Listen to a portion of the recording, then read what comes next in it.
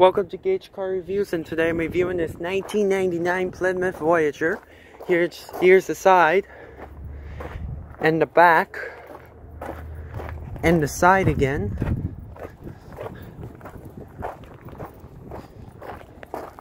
Now let's take a look inside this.